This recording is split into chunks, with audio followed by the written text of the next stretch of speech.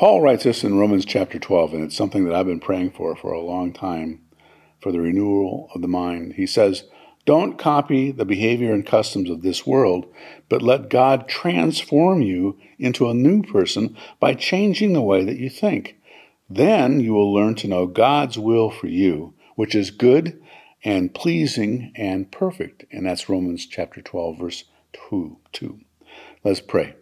Lord, may our hearts be open to you continually to grow in and through you, your Son, Jesus, and Holy Spirit, transforming us from the inside out with a desire to learn from you and to know your will for each of us.